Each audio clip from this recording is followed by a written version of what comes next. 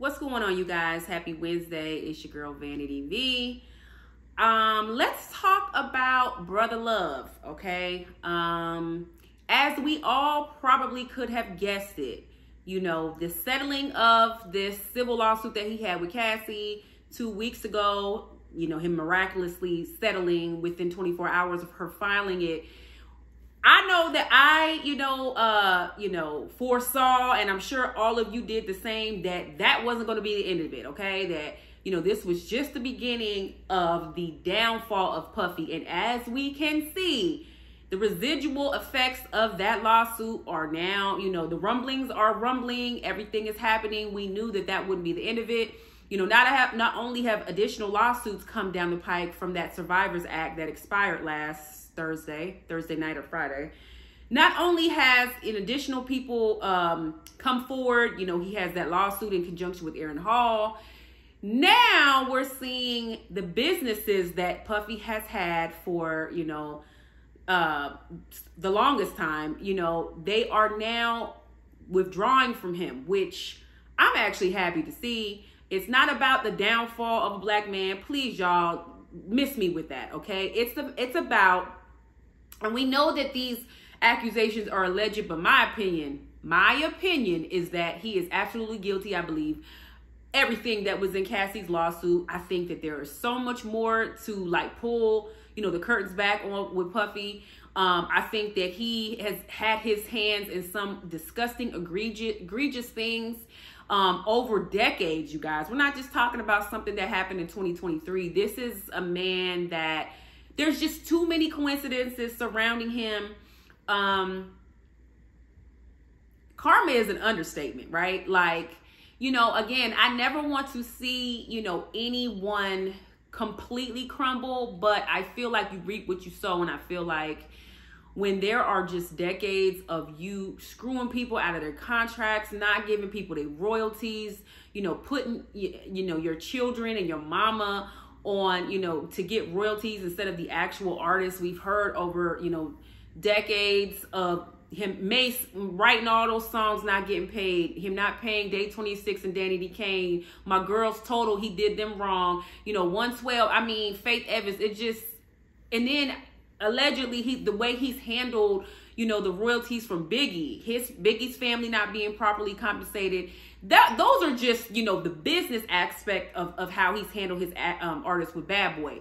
That's not even touching on some of these alleged you know other accusations of you know the things that he was doing the abuse with cassie you know there's the rumors of tupac biggie then you know we have the the wale's we have the Kid Cudis we have the alleged offing of, you know, Kim Porter, who is the mother of three of his kids, you know, and on and on and on and on. Like, you cannot tell me that at least some of this is not true. Like, there's no way that this he has the worst reputation and the worst rumors about him, and none of this is true. Like, so with that being said, right?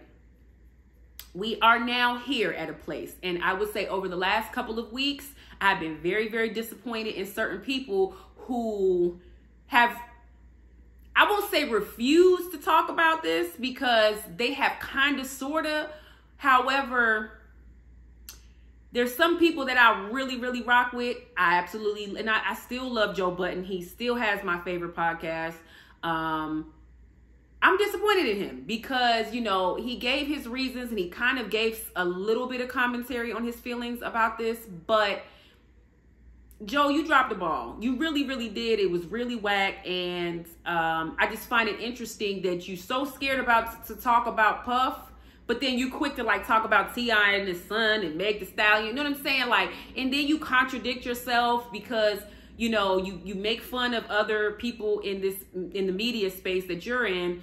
You, you in one breath you're like, well, nobody wants to hear what they have to say, but then you're in the next breath you're like why don't you guys say something? Why do I always have to be the guy? It's like, which one is it? Do you want to be the guy that people go to, you know, or is it like you don't? I, I just I can't. You know, it's it's the hypocrisy for me. The Charlemagne's, like, you know what I'm saying? Like, you, you know, I I listen to you know Earn Your Leisure. They was they was talking about the situation with Puffy. They wouldn't talk about it. It's just and the list goes on and on and on. It's like it's just like artists that he worked with, you know, Mary J. Like, and I mean Mary J. doesn't really say much, so I'm not gonna go hard on her. You know, we've heard of how Lil Kim felt when she was in jail. He didn't hold her down. It's just I don't know. I just people are not talking, and it's it's frustrating because besides Fifty Cent, okay, Fifty got all the smoke for um for Puffy, which I actually enjoyed. Um, 50, uh, 50 is an absolute troll, and he's he gives me all the cackles about the situation. But like in all seriousness, I really want to know like, is it time to cancel him? Does he need the R. Kelly treatment? You know what I'm saying? Like, what I'm not gonna do is because Puffy has his hands in too many artists. I'm not gonna stop listening to all the artists that he's you know pro, you know executive produced their music and all that. that. I'm just not doing that. But as, as it relates to like him being invited to the Met Gala and the Grammys and the you know Oscars and then you know him in his extravagant parties, like are people are we are people gonna fool with him still? Like are y'all still scared to speak out even after all of this? You know, He's losing, you know, Cap, Capital Preparatory has cut ties with him. Revolt, he stepped down from the his role in Revolt. He stepped down, which is suspicious to me. That doesn't mean he's not still going to profit off of Revolt. That just means that for purposes of not losing advertising and all of his other connections with Revolt, he's distant they're dis- it's probably mutually that they're distancing themselves in the public eye that doesn't mean that behind the scenes he's not still running stuff over there so i mean i'm not sure about that one but then DeLeon um, you know, the liquor line that he is like the face of, they don't want nothing to do with him. You know, Macy's cut ties with him, with Sean John. So we're seeing the residual effects of all of this, which, you know, yeah, like you, you shouldn't be able to do these types of things and then still profit and be, you know, your businesses should not be successful. I'm sorry. I, I just don't, I don't think that they, you should when you're doing things like this. But like, for real, for real, are we going to really cancel Puffy? I don't, all that Diddy stuff, he Puffy, Puff Daddy. Are we canceling Puff because this is not okay? Like, and I'm sorry, and it, it, it, it hurts me to say this because I have, you know, aspired and admired Puffy for all of my adult life. You know, Puffy been around since I, you know, you know, he with his first song that he did and produced stuff with Biggie and Craig Mack. I'm, you know, 12, 13, 14 years old. You know what I'm saying? So that he has been a part of my life pretty much my whole entire life.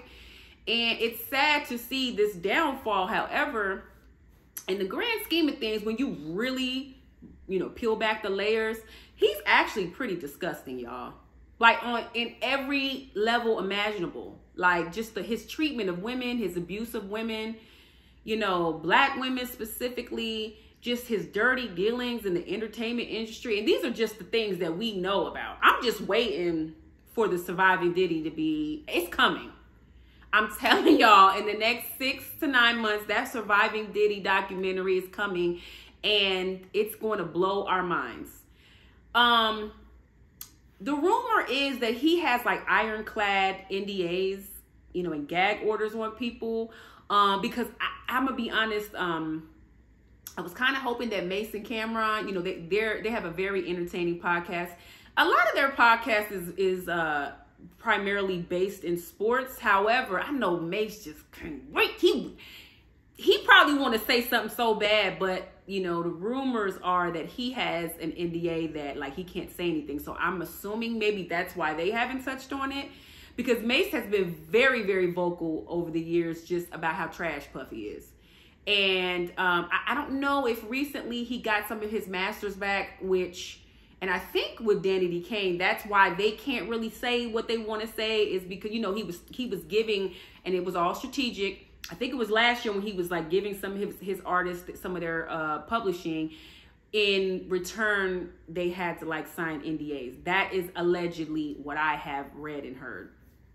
So I'm thinking that's because you know Aubrey, you know, like Double Dutch, she she want to get in so bad. She wants to like tell us all of the things and she still be she be she be saying stuff but um yeah i'm just i don't know i'm just disappointed you know i mean i don't know these people but i'm just saying like some of the people in me in the media spaces that i look up to and really admire and really really have watched for years are just have been so disappointing as it pertains to this. I'm gonna tell you, you know who I'm starting to like? I can't even believe I'm about to say this, y'all. You know how I'm kind of starting to like a little bit? Don't fry me. Why am I starting to like Akademiks a little bit, y'all? I don't know. I've been watching him a little more. Um, and because I would just just say six months ago, I was like, ugh, he's so annoying. Like I can't even watch, you know, because I love YouTube. I love YouTubers. Um, the really interesting ones and dynamic ones. Armon Wiggins is my favorite.